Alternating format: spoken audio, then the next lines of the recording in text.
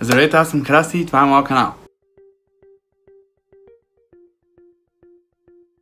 Това видео, което гледате в момента, ще бъде дълго и ще бъде букхол.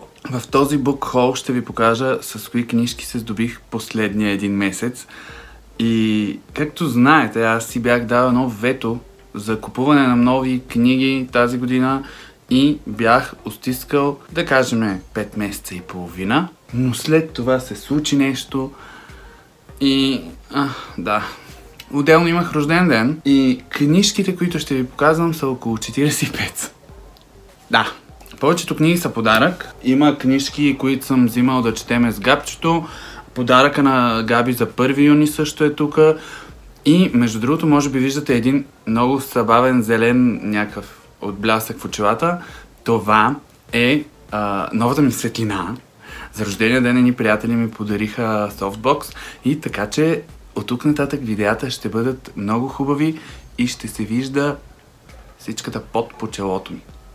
Започваме без да се бавиме, защото книгите са много и започвам с една книжка, която е уникат. И това е книжката Здрач и Живот и смърт на Стефани Майер книга, която е създадена за 10-та годишнина от издаването на Здрач, ако не се бъркам. Аз прочетох Здрач, прочетох и Живот и смърт. Всъщност Здрач го препрочетох и в скоро време очаквайте един много хубав а, разбор на това какво се случва в цялата поредица, какви прилики и разлики има между книгите и филмите и струва ли си изобщо да се чете здрач пренаписан, а именно Живот и смърт. Продължавам с една книжка от издателство Ентусиаст, която се казва Посланническото градче на Чайна Миевил. Нямам никаква идея за какво се става на въпрос. Корицата супер много ми хареса и беше на 5 лева в Озон. И, и реших, че щопа да не. 5 лева. 5 лева. Нещо а, антиутопично в бъдещето, така ми изглежда по корицата. Не съм чела нотацията, ама и нямам време да ви говоря много, защото така или иначе видеото ще е много дълго. Продължаваме с летящата планета на Алекс Ненов, една книжка, която е издадена с съдействието на Ашчета и Фабрика за книги. Една книжка, която аз се каня да си купя и да прочита, откакто се запознах с Алекс на Литкон преди две години. И може би този момент настъпи сега. Книжката е кратичка, около 200 страници. стабилен шрифт, така че мисля, че ще се чете бързичко. И да. Следващата книжка също е на български автори. Кои са, нямам никаква идея. Но това е писмата на Леля Евдокия от почтенска котия за приказки. Гледал съм видеа, в които четат писма на Леля Евдокия. Между другото, погледът ми може би ще шари повече към а, дисплея на телефона ми, защото се виждам в такава хубава светлина, че ми е някакво ново. Та да, Леля Евдокия ми е супер забавен персонаж и ми е интересно да ги прочета, защото мисля, че ще са хумористични и малко или много ще ми напомнят на Лейди Гергана. Продължавам с няколко детски книжки, които съм взел да четеме с Габи, защото вече няма карантина и ние се виждаме. И да, и първата книжка е Мистер Блис, фототипно издание, написано и иллюстровано от Толкин. Не съм чел нищо на Толкин. А тая книга, а, по принцип, коричната цена е 25 лева. Издателството е Барт, ако не се лъжа, да. А аз я взех за нещо от сорта на 10 лева, което беше пф, много добра цена според мен. А, много хубаво намаление. Изданието на първи поглед е много красиво, защото от едната страна имаме оригиналните... Сега със светлината няма да виждате много хубаво иллюстрациите, когато са на лъскава хартия, но а, гланцирана е хартията и от едната страна имаме оригиналния английски текст и на другата страна имаме превод. Когато я прочета ще направя с удоволствие едно ревю, защото ми е някаква интересна и казах да, да се допрем аз до толки.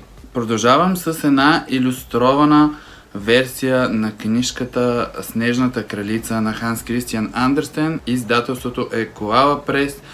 И е, иллюстрациите са дело на Виктория Видевска. Иллюстрациите на мен супер много ми харесват. Снежната кралица е приказка, което, която всяко дете според мен знае или трябва да знае. Както ви казах, иллюстрациите са много красиви и тази книжка беше супер много намалена. А дори да не е намалена, коричната цена е 12 лева и ви препоръчвам да я вземете, защото е много хубава.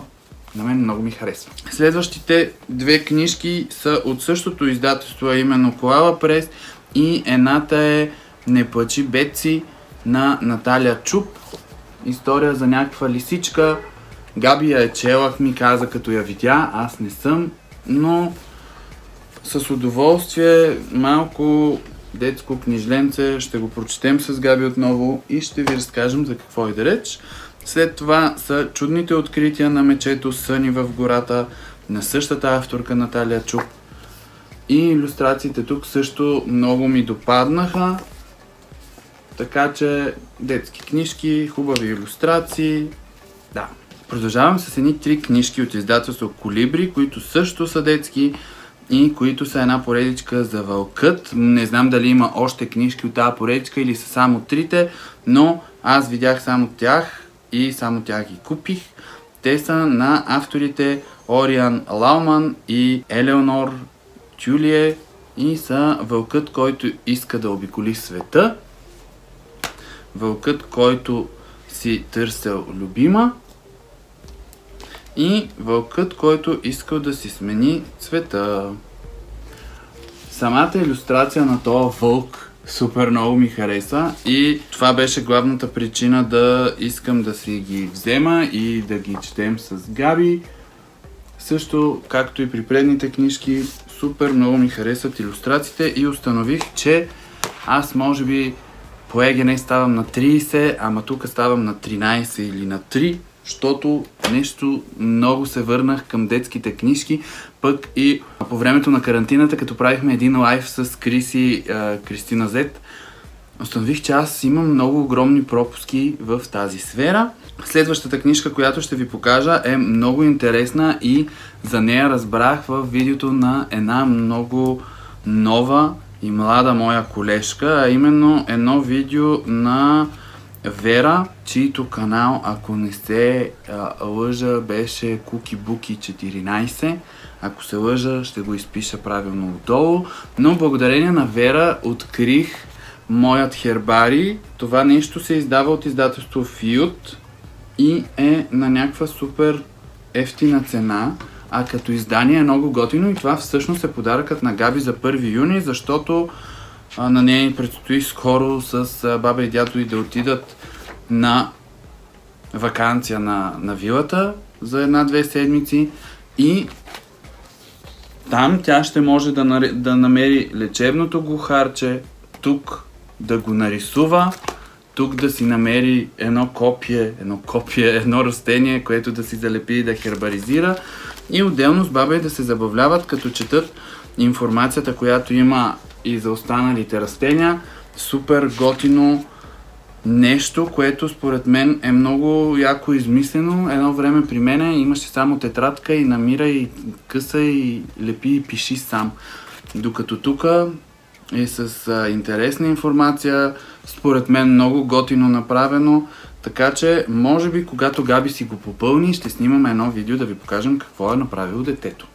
И така, мили хора, това бяха нещата, които си купих аз. И от тук нататък започваме с всички неща, които ми бяха подарени за рождения ден. Не знам как ще ги разпределя, дали по издателства, дали код фана, но да, започвам с първата ми книга на Колин Хувър, а именно Verity, издателството е Ibis, книга, която аз имам огромното желание да прочита, защото, както знаете, Колин Хувър не е автор, който по принцип бих чел, защото повечето и книги са любовни, но пък Verity е психотрилър и нямам търпение да се бъгна. Харесва ми, че на места шрифта е различен, благодарение на новата ми светлина няма да видите или ще видите, да, защото сега светлината е върху цялата ми глава. Но ето така, ако виждате, шрифта тук е като от пишеща машина. А, на останалите места си е стандартният шрифт. И така, тия кадри просто са топа. Продължавам с едни три книжки, които са първите три книги от поредицата за Локо Тисие на Джонатан Страут, а именно Крещящото стълбище, Шепотът на черепа и Кухото момче. Книжки, които казват, че леко наподобяват а, а, скълдъгари и че са по принцип а, подходящи и за малки деца, за по-малки читатели а, но пък имало и страшни елементи и на мен ми е интересно да ги видя. Доколкото знам, книгите от тази поредица са 5. Artline издадоха първите три много бързо и а, се надявам, като прочета поне една, първата, ако ми хареса, да Artline да издадат и останалите две, за да мога да си завърша цялата поредичка, пък дори да не ми хареса, аз може би ще си ги купа, за да ги имам и петте защото книгохолик. Като сме почнали с Артлайн, ще продължим с Артлайн, малко разместване тук на купчинката. Трилогията на Брандън Сандърсън Магороден, а именно Последната империя, Кладенецът на Възнесението и Героят на времето. Знам, че след тази трилогия има още три книжки, които всъщност не знам дали точно се водят към трилогията или са като някаква нова трилогия в същия свят с същите герои. Интересното е обаче, че в сайта на Artline и навсякъде аз намирам пета и шеста, четвърта не я намирам, може би още не са я преиздали, защото първоначално, доколкото си спомням, Брандън Сандерсън се издаваше от издателство Барт и хората, които харесват тази трилогия, я имат, визирам зенити, с бартски корици, с английски корици и с българските. А, на Артлайн те и бартските са български, ама да. Тъй като споменах зенити, та покрай нея аз изпитах огромното желание да прочета една трилогия, която всъщност не е трилогия, а е не знам си колкология. За момента на български има три книги и мисля, че Artline ще издадат до края на годината и пета, и четвърта и пета книга от тази поредичка, а именно това са Летописите на светлината на бурята на Брандън Сандърсън с първа книга Пътят на кралете 1022 страници. Втора книга Сияйни слова 1022 страници. И трета книга Заклеващият 1030 страници. Аз, между другото, тук само ще вметна, че искам да кажа много огромно благодаря на издателство Artline, защото аз си поръчах тези книги от майка ми и за жалост, когато пристигнаха първа и втора книга, аз имах проблем с тях, като това, че примерно на първата книга, ето тук беше залепено и при отварянето аз а, я скъсах, отзад също имаше залепено. И честно казано по-големите проблеми, които имах не бяха с първата, а с третата книга, защото, само да я наместа, защото Третата книга, видимо като се вземе, се вижда, че има някакъв проблем. И когато се махне обложката и човек направи ето така, се вижда, че мога да ви вида. А, писах на издателството с това, че им казах, че аз безумно много ги харесвам Харесвам книгите, които издават, харесвам и това, че са много креативни и имат много готини издания, примерно твърдите дървени корици на душата на императора или към звездите, към небето. И някак си се почувствах неудобно, че това нещо ще трябва да го включа в букхола. И те ми писаха обратно, всъщност поискаха ми е, телефон за обратна връзка и се чухме и ми пратиха нови бройки. Извиниха ми се за това, че бройките, които имам аз са в такова състояние, но се случва.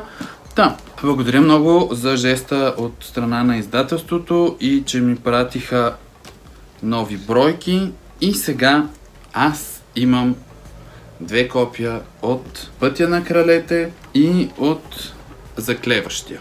Тук е момента, в който мога да ви кажа, че ако някой от вас иска да се здобие с книга първа и книга трета от тази поредица, но книгите са с дефект, мога да пусна един giveaway, в който някой от вас, който има желанието да ги чете и който иска да се здобие напълно безплатно, може би само ще си плати доставката, с книги, които са факт с дефект, но коричната им обща цена е 65 лева, може да пише отдолу в коментарите искам книгите или участвам или giveaway. Едно от тия три неща и аз след да кажем две седмици или една седмица, тук отдолу ще ви напиша кога, ще изтегля човекът, който може да се здобие с тия книжки.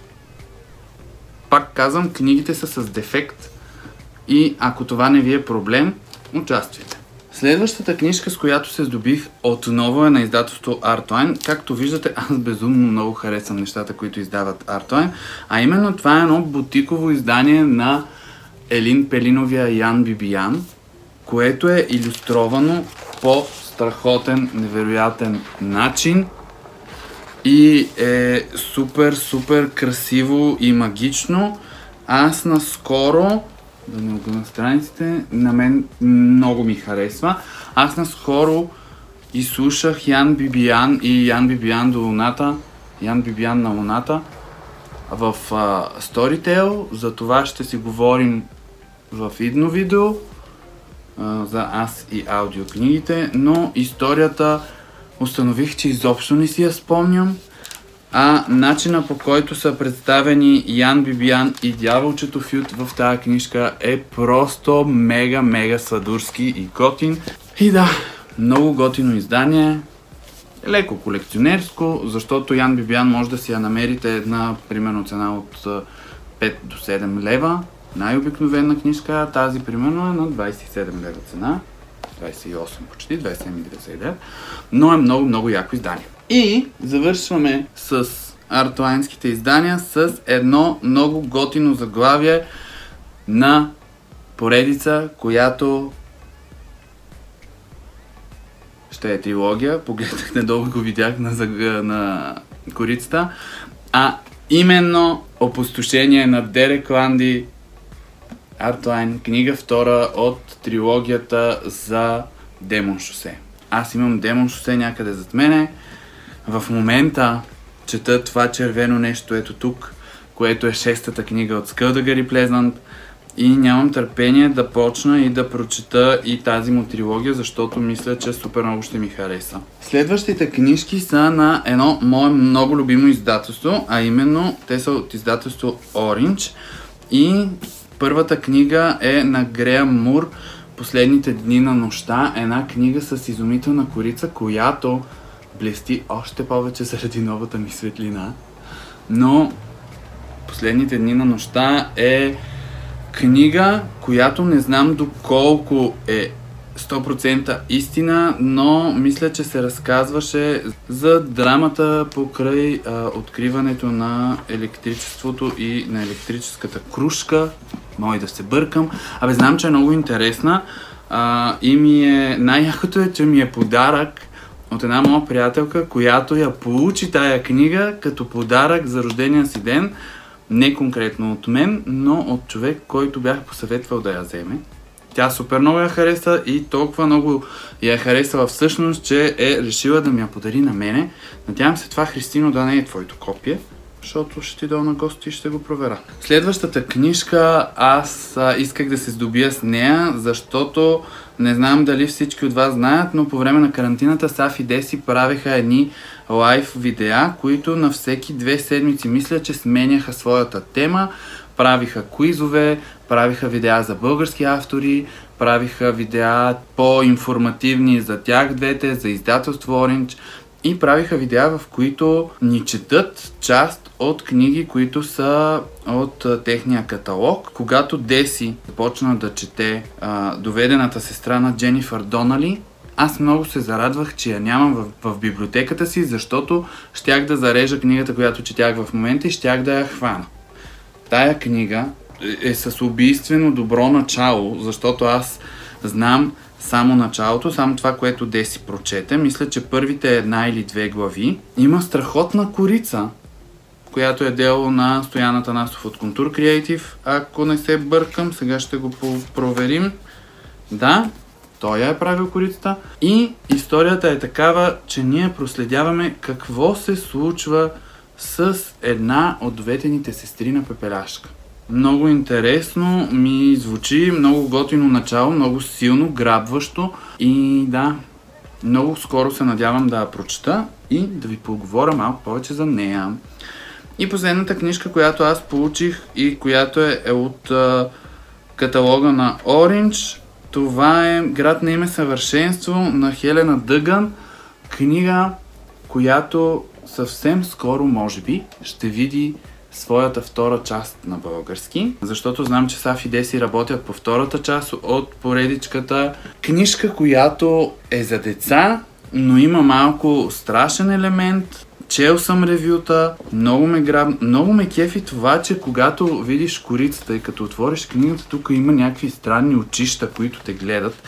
Може би ще разбера за, защо го правят, когато прочита книжката. Харесва ми факта, че всяка глава има различни, ето тук орнаментчета. Видях някакви чайници и неща, и цветленца, и, и дори каштурки. Но повече ще си говорим за книжното тяло, къде взема я прочета. Следващите книжки, с които се здобих, са едни книжки на едно също много любимо мое издателство, а именно издателство ICU. И започвам с Зелда на Елин Рахнев. Книга, която е поезия и книга, която е много... Я да видим дали... Ами, а, ще ви... Ето така се вижда. Добре. Явно светлината не работи винаги в полза на това, което трябва да се види. Но, както виждате, корицата е много семпла. А, книгата е според мен е странна. Аз вече я прочетох, защото тя е стихосбирка и е кратичка и както мога да ви покажа, има страници с 4 думи текст.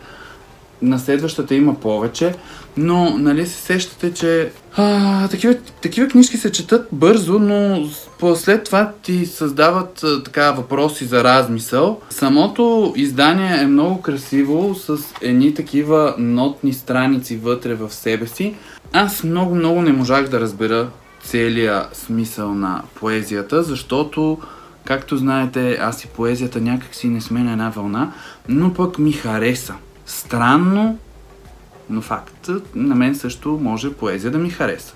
Не знам доколко съм я разбрал правилно, но за това ще направя едно отделно видео, в което ще си говорим за, за Зелда, ще си говорим за Кацнал на облак, мисля, че беше другата а, книжка с поезия, която съм чел, и за а, на Константин Трендафилов за кого се сещаш, когато се сещаш за някого. Също така съм си набелязал да прочета още една-две книжки поезия, за да видиме аджба дали наистина проблема е в мене. Или м- има вероятност да схвана за какво и да реч. Продължавам с три книжки, които са от поредичката по пътя на издателство ICU, аз имам книга първа, която е Нощна пеперутя на Катя Кецо и имам Творецът на ангели на Стефан Брайс и се здобих покрай рождения ден с втора, трета и пета книга от поредичката по пътя, а именно Дневник на една изневяра на Емилиус Соломо. Югославия, моя страна на Го, Горан Войнович или Горан Войнович, не знам как трябва да се произнесе правилно. И честно казано, според мен книгата е с най-красива корица от петте, а именно Жажда на Естер Хритсен. Много, много ми хареса тази корица. А, това е най-кратичката книжка всъщност. Говорили сме си с Асето за тия книжки и тя каза, че са много хубави и че щом толкова много харесах Твореца на ангелите и другите ще ми харесат и затова ще си ги чета. Продължавам с Джанин Къмингс и Изхвърлени в Америка, също на ICU. Книга, която е стабилно дебелшка, над 500 страници, 500 и малко, около 510. Книга с тежки истории вътре в нея и книга, която знам, че е силна и ще ме разтърси. Така че и тя да се готви. И последната книга от каталога на ICU е Карай плуга си през костите на мъртвите на Олга Токарчук. Книга, която е наградена с Нобелова награда за литература за 2018 година. Книга, която има разкошна корица и тя мисля, че пак е дело на Стоян, а не, дело е на Таня Минчева от Контур Creative. Пак на Контур е дело, но на другия член от екипа, не на Стояна, на Таня. Книгата има страхотно българско тяло. Чакайте да видим как да... Много, много, много ми харесва как е направена корицата и тия елени, които имаме един отпред и останалите три са малко като сенки. Знам, че е тежка и трудна за четене книга, може би. Тежка знам, че е. Трудна за четене, ще видиме. Не е много дебела, което ми прави впечатление. 250 страници. А, но се надявам да това, че 250 страници да ми помогне да я прочета по-бързо и да не ме фърли в джаза некъде надълбоко. Малко по-нататък във времето ще я прочета, защото някакси на този етап съм на по-фентази вълна, а книжките на ICU са малко по- тежички и честно казано след Твореца на ангелите аз имам, имах малко нужда от да избягам от това, че една книга колкото и красива може да бъде и тежка. И да, но определено с огромно нетърпение искам да прочета тия книжки. Последните книги, които ще ви покажа са от каталога на издателство Егмонт и започвам с Музата на кошмарите на Лейни Тейлър втора книга от дуология, ако не се лъжа, за мечтателя Странник. Аз съм чел единствено създадена от Дими Кост на Лейни Тейлър. Нещо не беше моята. Хубава е книжката, но някак си мисля, че не бях в таргет групата. И, и все пак имам мечтателя Странник, имам тази и един ден надявам се да ги прочета, защото съм чувал много хубави мнения за тия двете книжки. Продължавам с втора и трета книга от трилогия на Джей Кристоф, а именно трилогията за Нивга нощ, която не знам дали има специално име, но втората книга е Божи гроб, а третата книга е Мраковуние. Много дебели и красиви издания. Не мога да прецена коя от трите корици ми харесва най-много, но определено харесвам и трите корици на тази а, поредица. Ян Када от настроено асасинско изживяване. Вече след като имам и втора и трета, мисля, че е крайно време да се запозная с Мия и да отидем в този асасински свят. Алекс от Четат ли двама, знам, че я приключи трилогията и беше много очарован. Силно се надявам да вземе да снима едно видео, в което да ни поразказва малко повече. Когато получих след, следващите книги, нещото, което казах на моите приятели беше, че имам чувството, че не, не ставам на 30, а на 13, защото едни мои приятели ми подариха всичките книги на Хари Потър. И така, имах първа книга, вече имам още едно копие, което мисля, че ще отиде при Габи. А именно, имаме Хари Потър и философският камък, Хари Потър и стаята на тайните, Хари Потър и затворникът от Аскабан, Хари Потър и огненият бокал, Хари Потър и орденът на Феникса, Хари Потър и нечистокръвният принц и Хари Потър и даровете на смъртта. Също така, тук изобщо не мисля да ви обяснявам за какво иде реч, защото ако си човек, който не знае кой е Хари Потър, не знам, аз може да не съм ги чел още всичките книги, а за сметка на това съм гледал филмите поне поведнъж. Всъщност поне по два пъти. Първия съм гледал повече даже. Прочел съм първата книга, така че имаме напредък. След като вече имам и останалите, може би скоро ще ги прочета и тях. Знае ли човек? И Продължаваме естествено на вълна Хари Потър. Също така подариха ми втората книга от иллюстрованите издания на Стаята на тайните. Просто аз не знам Не знам дали имам думи, с които да ви опиша колко много ми харесват иллюстрациите в тия книги. Обемни, скъпи издания, които мисля, че всяко едно е с различен цвят. Първата е червена, тя някъде... Ето тук е. Първата е червена, втората е оранжева, третата е лилава, аз за жалост я нямам, а четвъртата, която също ми подариха, е синя. Така че оставам, да се, оставам и да се здобия с а, третата и също така остава Егмонт да издадат пета, шеста и седма. Ето и от тук ви показвам една иллюстрация, която е много, много красива, но хартията е малко гланцирана и има гадни отблясъци от светлината. И за финал също така ми подариха оригиналните сценарии на фантастични животни и къде да ги намерим и на престъпленията на Гриндевалд и така.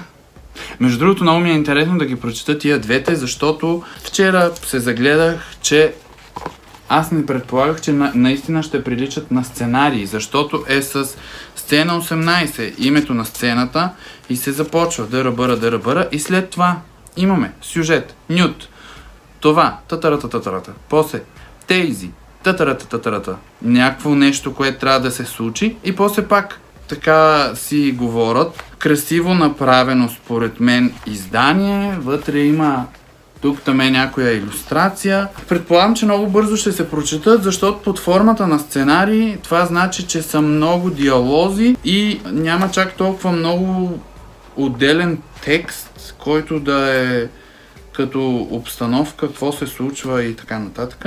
Но, да. Ще приключа видеото си така, защото пълен абсурд да мога да хвана абсолютно всички книги на куп. И така, надявам се, че това видео ви е било интересно. Много благодаря на всички хора, които са ми подарили книги. Много благодаря на хората, които те първа искат да ми подарят книги. Както казах, аз нямам третата книга от иллюстрованите на Хари Потър. Ако някой иска да ме изненада, мога да ми я купи и да ми я подари. Дори без повод, нали? Не, не чакайте до коледа, нова година и до година за рождения ми ден. Шегувам се, но бих се зарадвал, ако някой ми я подари, наистина. Както вече казах, благодаря на всички, които изгледаха това видео. Отново повтарям, че за двете книжки, които имам с дефект, ако някой иска, може да ми напише отдолу в коментарите uh, giveaway, участвам или искам ги. И след 14 дни от качването на това видео, аз ще пусна едно малко бързо видео, в което ще кажа на кой ще ги изпратя, като единственото условие е, че вие ще си платите доставката. Това е моето условие нали, за участие. Аз ви пращам книгите, вие си плащате доставката. Обобщението е, че аз се заринах с книги, имам свободно време, защото още не работя и имам идеи за видеа. Миналата седмица си почивах, но за напред имам за какво да ви говоря, така че очаквайте още видеа. А, те ще бъдат с хубава светлина, както вече виждате. И ако това видео ви е харесало, дайте му едно палче нагоре. Ако не ви е харесало, дайте му едно палче надолу. Няма никакво значение. Важното е да се чете и да се трупат книги. Чао и ще се видим в следващото видео.